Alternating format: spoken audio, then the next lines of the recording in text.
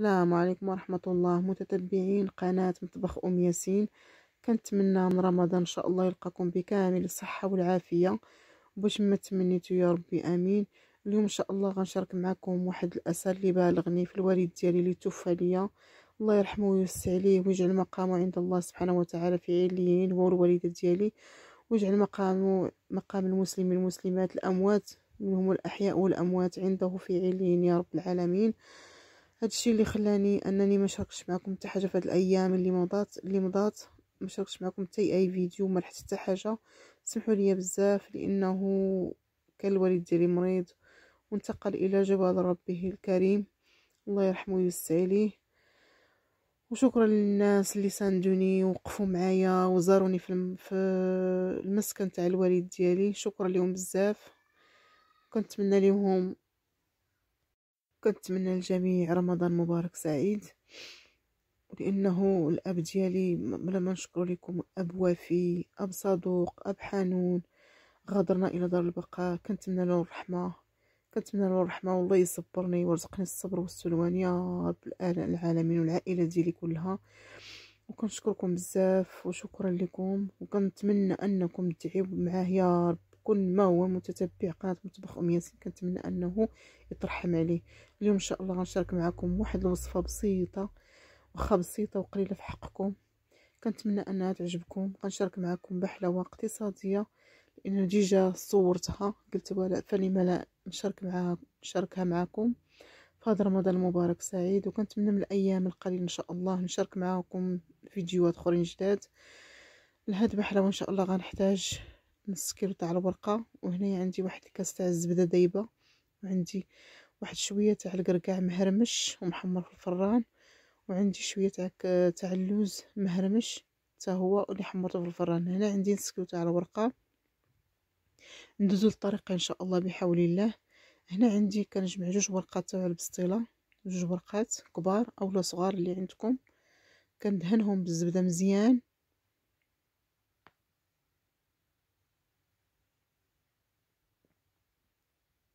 كنضيف لهم داك اللوز مهرمش والقرقاع مهرمش حتى هو. نتوما تقدروا ديروها بالقرقاع بوحدو أولا باللوز بوحدو. باش ما درتوها كتجي زوينة وليدة. أنا كندير واحد الكمية لا بأس بها.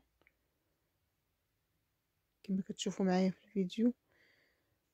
هنا كرولي ديك الورقة على هذا الشكل. ما تزيروهاش. تكون مرخوفة شوية.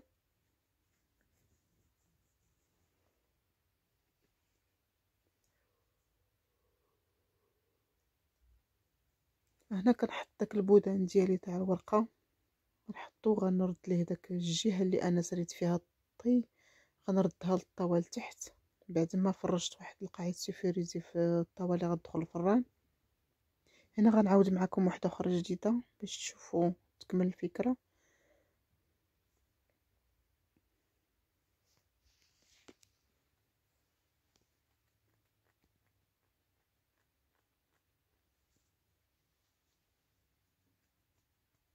هنا كنعاود ندهن بالزبدة وكنعاود نضيف الكركاع واللوز. هنا بعد ما كملت دوك لي بودان ديال الورقة بحلاوه ديالي على هذا الشكل كنقطع داك الزائد اللي في الجنب كنحيدو. غنقطع البحلاوه ديالي على الشكل اللي أنا بغيت. نتوما غتقطعوها على الشكل اللي بغيتو كله على الشكل اللي حبيتو. كل والذوق ديالو أنا فضلتها تكون مربعة بحال هكا. غنقطعها متساوية.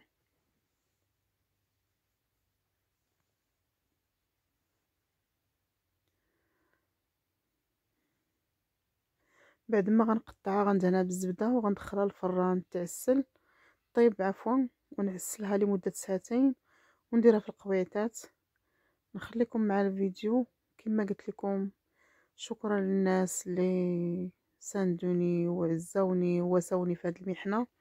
كنشكرهم بزاف. وأنتم ما تبخلوش عليا باللايك ديالكم وبالتعاليق ديالكم اللي كتقولوا دائما في حقي. كنشكركم عليهم بزاف.